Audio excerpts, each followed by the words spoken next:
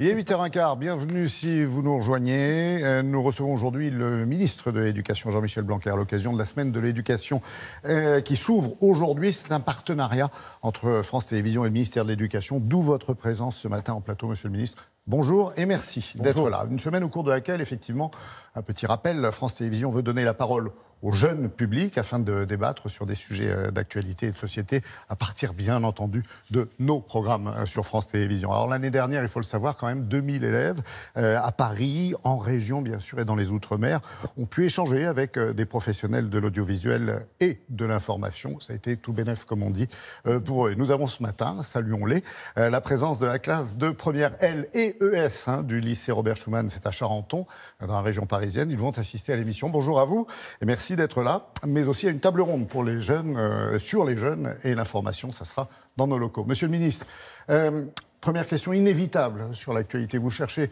à apaiser un monde avec des réformes dans l'éducation, à les faire chanter dès la rentrée aussi, mais on est quand même dans une France un peu en colère, qui grogne, qui râle, qui a euh, des soucis à se situer dans une société en pleine évolution. J'allais dire, même entre la recherche du confort, de plus de confort, et puis peut-être des choix pour l'avenir d'une plus belle planète. Oui, c'est vrai. la tâche. Vous avez raison. Le... Vous savez, je parle toujours d'école de la confiance. Quand je veux résumer tout ce que j'ai à faire, je parle d'école de la confiance parce que mon, mon diagnostic de départ, c'est de dire que la France n'est pas assez une société de confiance. On ne se fait pas suffisamment confiance les, uns aux autres. C'est vrai euh, entre les institutions et les citoyens, entre les citoyens eux-mêmes. Et euh, la France peut être une société de confiance. Elle l'a d'ailleurs été euh, dans son histoire, y compris à certains moments du XXe siècle. Et l'école joue un rôle considérable. l'école la société doit avoir confiance en son école. D'ailleurs, les sociétés qui vont bien sont celles qui font confiance en leur école. Et l'école doit générer de la confiance, notamment de la confiance en soi des élèves, parce qu'il faut qu'ils aient confiance dans l'avenir, confiance dans ce qui va leur arriver, confiance dans les autres aussi. Et donc, euh, ce cercle vertueux de la confiance, c'est clairement ce dont on a besoin. On voit bien que la société française, elle est travaillée par des, par des choses compliquées euh, euh, et, que ça ne date pas d'il y a un an et demi. Et c'est un peu le mm. paradoxe pour ce gouvernement d'arriver finalement à un moment de tension pour résoudre des problèmes et au moment où on commence à, à prendre les choses à bras le corps, d'avoir une difficulté, les difficultés dans lesquelles on est actuellement. Donc moi, quand je vois les gilets jaunes et les différents manifestants, vous savez, je sens pas de, je sens pas de distance. J'en ai, j'en ai vu ce week-end. Mais il y a toujours des actes de violence. Ça vous fait ah, ça, c'est inacceptable, bien entendu. Mais je fais la distinction entre ce que peuvent ressentir euh, les gens et qui est tout à fait euh, légitime, et puis euh, les débordements d'autre part. Donc maintenant, on a besoin de se parler. Ça sert à rien de se faire du tort à notre pays, puisque à la fin, quand on paralyse un pays, c'est moins de croissance, moins mmh. d'emplois, etc. Donc on a surtout besoin de se parler. C'est ce, que, ce qui va s'enclencher demain avec le, ce que dira le président de la République. Donc j'ai, euh, quand même confiance. Euh, mais, mais je suis aussi euh, conscient du fait qu'il va falloir bien, bien enclencher le cercle vertueux. L'école vous a laissé de bons souvenirs, j'imagine? De mauvais oh. souvenirs aussi. Oh, vous savez, je crois que comme tout le monde, des bons et des mauvais. il, y a, des bons. Je ne pense pas qu'il y ait une seule personne qui n'ait que des bons ou que des mauvais souvenirs de l'école. les, mauvais souvenirs, les mauvais souvenirs, c'était quoi? Les mauvais souvenirs, comme beaucoup de garçons, je me suis bagarré beaucoup euh, à l'école, donc ce n'est pas forcément les, moments les, meilleurs. Euh, violence, mais beaucoup. Et par contre, euh, par contre, j'ai beaucoup aimé jouer au football. Aussi. Bien, nous allons aborder euh, avec vous plusieurs, plusieurs thèmes. Merci Carole d'être là. L'un des thèmes justement de cette semaine, c'est la fameuse discrimination. Tout à fait. C'est une euh, thématique au cœur euh, de France Télévisions. C'est vrai qu'à travers la fiction, les magazines, mais aussi euh, les reportages, le vivre ensemble, c'est important au sein de la télévision. C'est important d'en parler. Alors, on va échanger toute cette semaine à travers ces thématiques, la discrimination sous toutes ses formes, que ce soit l'homophobie, l'égalité homme-femme ou encore le racisme. Des classes vont venir pour en parler avec nous au sein de France Télévisions. Alors, on va aussi en parler avec vous, Monsieur le Ministre. Mais avant, je vais vous demander de regarder ce reportage pour voir comment on aborde ces questions là en classe. Quels sont les mots choisis auprès des enfants Jean-Philippe Houdin et son équipe ont posé leur caméra dans la classe de Stéphanie Mouret, composée à la fois de CE1 et de CE2. Et ça se passe à l'école Paul Bert, à ici les Moulineaux. Paul Bert dans le 92. Alors, les enfants, ce matin, on va lire un petit passage de ce texte. Paul. Les enfants ont tous la même valeur, qu'ils soient blancs ou noirs, espagnols ou allemands. Alors, Marius, tu peux expliquer ce que ça veut dire, la même valeur? Ça veut dire que qu'ils soient français ou allemands, et eh ben c'est qui qui sont pareils. Léna, qu'est-ce que ça veut dire être pareil? Bah ça veut dire qu'ils sont ils ont tous une tête, ils ont tous des oreilles, ils ont tous deux yeux et pas plus. Ça veut dire qu'on n'a pas de différence entre On n'a pas de différence. Ou peut-être qu'on a une différence, mais il faut se respecter comme on est. Très bien. Alors sur cette image les enfants, qu'est-ce que vous voyez? L'idée de travailler sur la différence, c'est d'amener les enfants à parler de ces différences, à se questionner, d'apprendre à se respecter soi-même, à apprendre à respecter les autres, les amener à voir que les différences, c'est plutôt une richesse et que ce n'est pas un frein pour mieux vivre ensemble. Par exemple, Daphné, c'est une fille et moi je suis un garçon. Elle, elle est blonde et moi je suis les cheveux noirs. D'autres choses à dire sur les images que vous voyez? Anna? Il y a des gens qui sont petits, grands, il y en a qui sont gros, il y en a qui sont maigres. Il y en a qui ont le sourire, il y en a qui n'ont pas de sourire. Il y en a, ils ont des lunettes. Et moi, j'en ai pas. Marius. Et aussi, c'est qu'ils n'ont pas tous la même religion. Est-ce qu'on peut dire, tu n'es pas de la même religion que moi, ton Dieu, il est moins bien que le mien Pourquoi? Gabriel? Parce que sinon, ça peut lui faire de la peine. À mon avis, on voit mieux avec le cœur. Il faut être gentil. Comme ça, on peut jouer avec quelqu'un et on peut se faire des copains. Parce que sinon, par exemple, s'il y avait que des garçons sur la Terre ou que des filles, bah, ce serait pas intéressant. Bah, Jusqu'ici, tout va bien. Hein. Oui. Vous voyez qu'on fait des bonnes choses à l'école. Oui, mais c'est pas partout le cas. hein. Et non, parce que c'est vrai qu'on comprend bien avec euh, ce sujet que la mixité sociale est importante à l'école. Et pourtant, certains parents choisissent de mettre leurs enfants en école privée. Donc ça pose quand même un problème. Selon vos derniers chiffres, 78,8% des élèves du second degré sont dans le public. Alors si je suis pas trop mauvaise en maths et face à vous, c'est quand même compliqué. 21,1% sont donc dans le privé. Alors euh, aussi, selon une récente euh, étude de l'INSEE que j'ai lue, il était écrit que les personnes qui sont dans des milieux favorisés vont mettre leurs enfants, vont se diriger plus fortement dans les écoles privées. Alors, forcément, ça pose la question de la ségrégation sociale, surtout dans les grandes villes. Je voudrais vous poser comme question, qu'avez-vous euh, en tête pour redorer le blason de l'école publique et également pour éviter ce que l'on appelle l'entre-soi? Alors c'est une très vaste question Eh oui, que, vous posez, d'ailleurs qui ne se résume pas au sujet privé-public d'ailleurs, hein, puisqu'il ne faut jamais oublier que le privé sous contrat c'est, euh, participe au service public, que, le, euh, que vous avez euh, du, du privé par exemple en- en- dans les banlieues des grandes villes aujourd'hui qui accueillent des élèves défavorisés. Donc le sujet est plus- n'est pas binaire. Ceci étant, ce pourcentage qui est en gros de 80-20, c'est un pourcentage auquel nous tenons et qui doit rester grosso modo le même au fil des ans, parce que c'est un pourcentage qui à mes yeux est, est- est bon pour, euh, pour, pour la France. Il ne doit pas, il ne doit pas varier. Or, il a un petit peu varié, c'est vrai, vous avez raison, il est descendu un peu en dessous de 80%. Ce sont les motivations la- qui sont peut-être parfois inquiétantes de oui. ceux qui choisissent le privé plutôt Alors, que il le y a public. plusieurs, euh, plusieurs facteurs, hein, mais la, la première des réponses, mais pas la seule à ce que vous avez dit, c'est rendre le, le- le service public totalement, l'école de la République totalement attractive.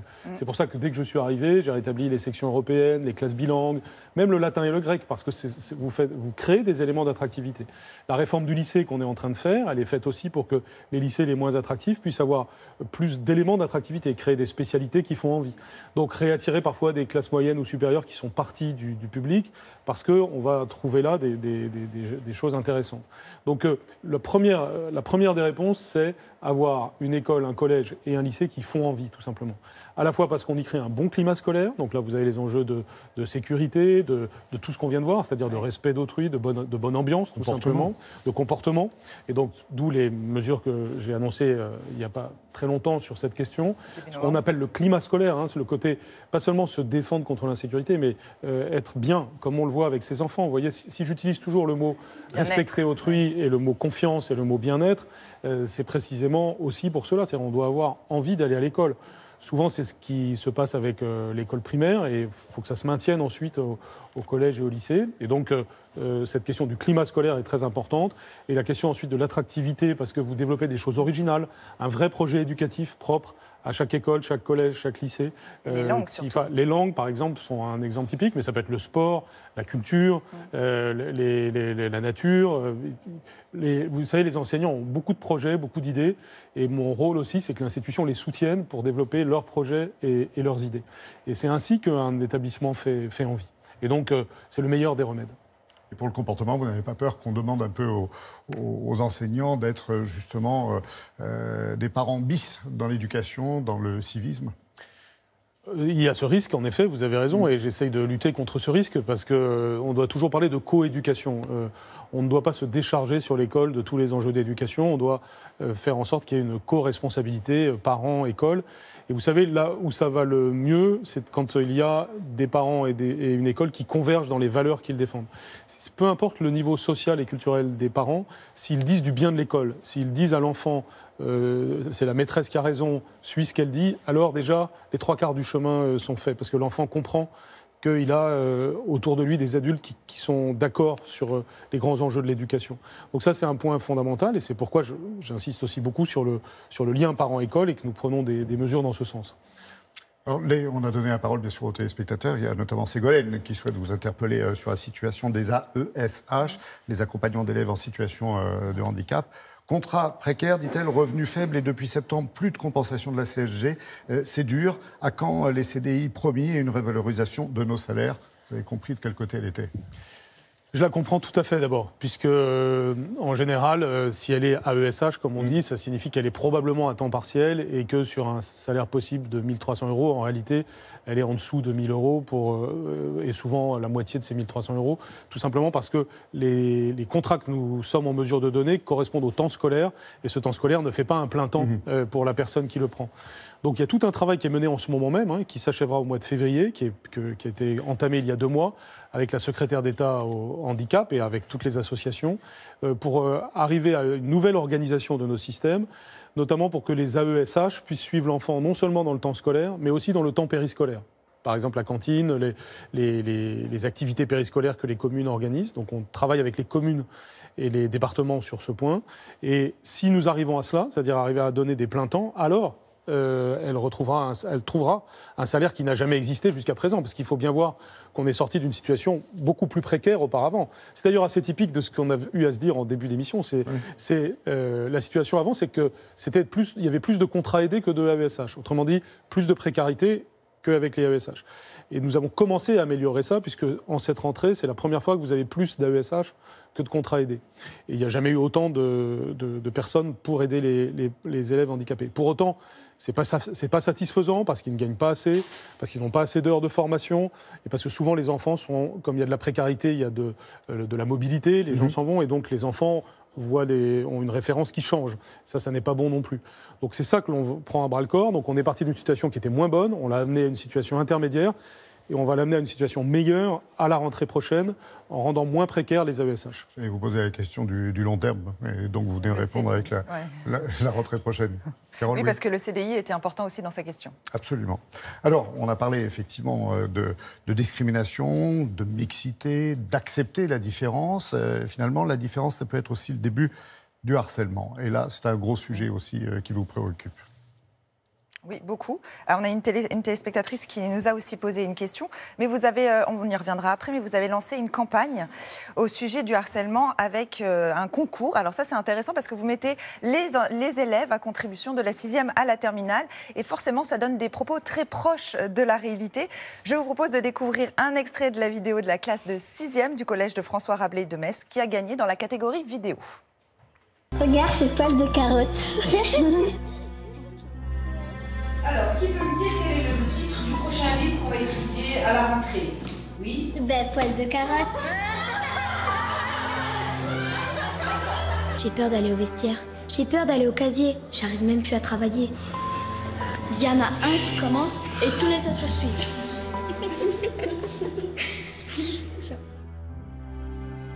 Toi, le harceleur, mais à quoi ça te sert? À quoi ça te sert de me voir pleurer? À quoi ça te sert de juger ma couleur de cheveux? Contre le harcèlement, il y a des solutions. Premièrement, il faut en parler à l'adulte. Deuxièmement, ne pas laisser faire. Troisièmement, apprendre aux élèves à ne pas harceler. quatrièmement, aider la victime. Cinquièmement, j'appelle le 3020, numéro non harcèlement. J'allais dire, c'est la, la, lourde tâche, pardon, hein, monsieur le ministre, euh, lutter contre ce harcèlement qui prend de multiples formes, de plus en plus violentes et de plus en plus destructrices aujourd'hui. Oui, et puis de plus en plus pénétrante dans la vie, puisque avec le cyberharcèlement, ça va au-delà même du temps scolaire, puisque ça peut vous poursuivre chez vous et, tout le temps. Mm. Donc c'est un phénomène que je prends très au sérieux, parce qu'en réalité, derrière la question du harcèlement, il y a les questions qu'on a abordées dès le début, c'est-à-dire est-ce qu'on est dans une société de confiance, où on se parle, où on se respecte Euh, et, et, donc, quelle, quelle société sommes-nous en train de créer, au fond? C'est ça qui est derrière la lutte contre le harcèlement. Donc, d'où l'importance du premier reportage que vous avez montré, c'est-à-dire on doit apprendre aux enfants à se respecter, à apprécier la différence chez l'autre et, et, aussi à, à, à, aimer le fait qu'on soit différent et qu'on peut être plus intelligent à plusieurs parce qu'on est différent. Tous ces idées-là, c'est les valeurs de la République, c'est l'humanisme, et c'est ce qui doit passer euh, au travers de l'école primaire, puis du collège et du lycée. On sait que dans la réalité, c'est différent, qu'on peut être un, un, adolescent à la mode parce qu'on aura été le chef de ceux qui persécutent mmh. un, un, enfant.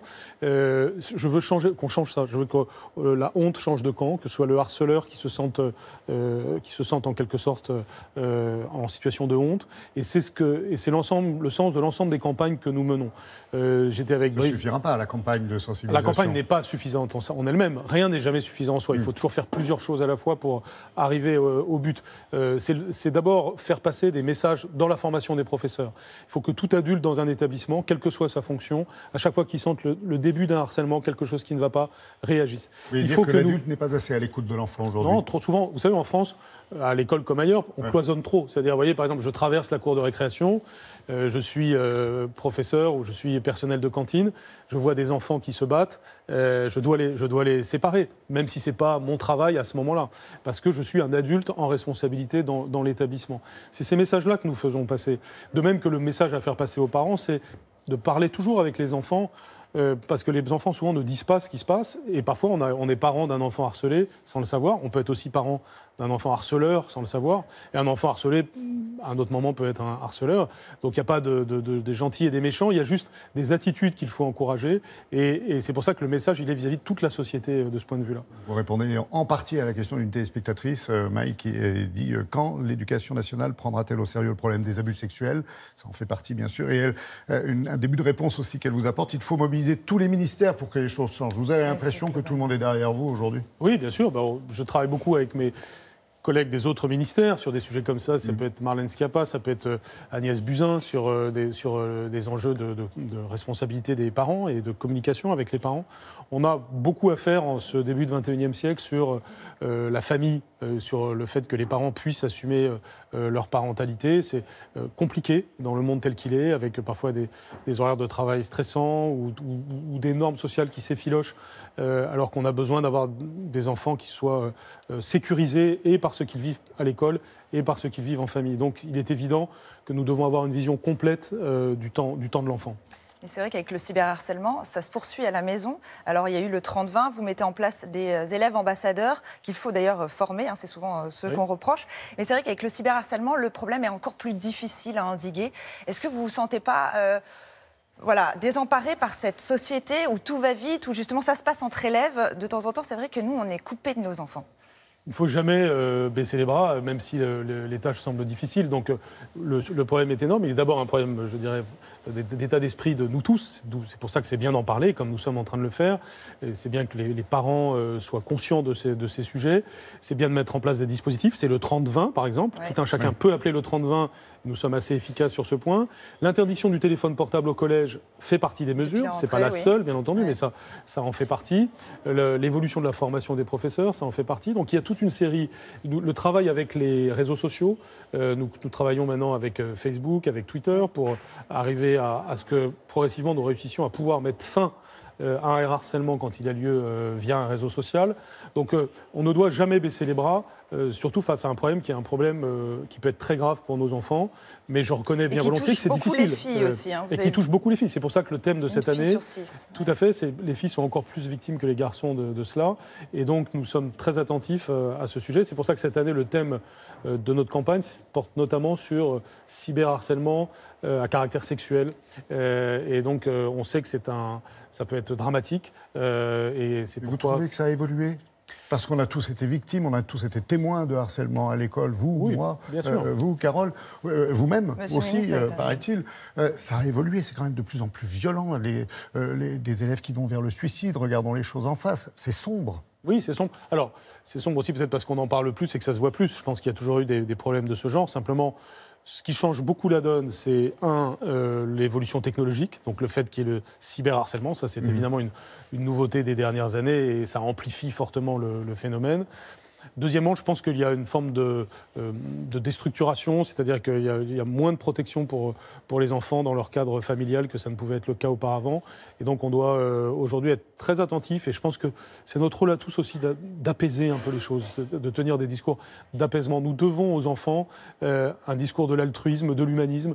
Ça peut paraître, je ne sais quoi d'ailleurs de, dire, ça, mais nous devons, dans nos discours, euh, se projeter plus positivement, euh, être plus sécurisant pour nos enfants.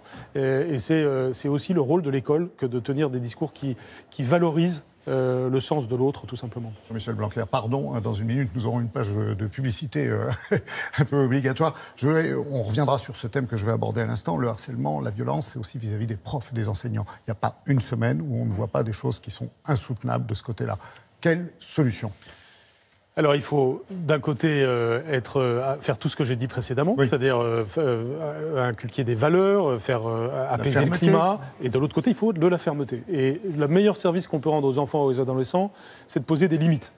c'est pourquoi parmi les premières mesures que j'ai annoncées, il y a, il y a eu le fait qu'il y ait un signalement systématique et un suivi systématique de tout fait qui est contraire au, au règlement intérieur et évidemment de tout fait de violence. une fois que ces faits ont lieu, il faut une fermeté euh, complète. Cette fermeté, c'est quand ça va loin, c'est même va jusqu'à déposer plainte. Et c'est ce qui s'est passé pour les ça faits va les toujours plus graves. trop loin, soyons clairs.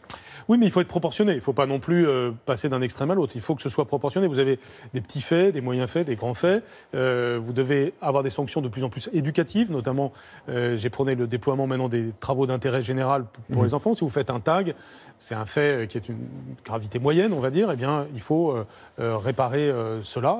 il faut que vous sentiez pourquoi ce que vous avez fait est mal.